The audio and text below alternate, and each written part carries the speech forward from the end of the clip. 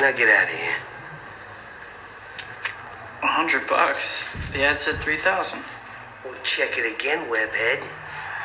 It said three grand for three minutes, and you pinned them in two. For that, I give you a hundred, and you're lucky to get that.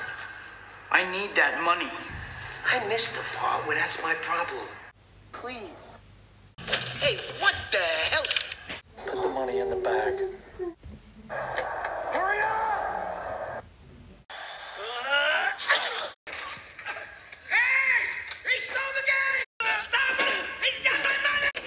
Money!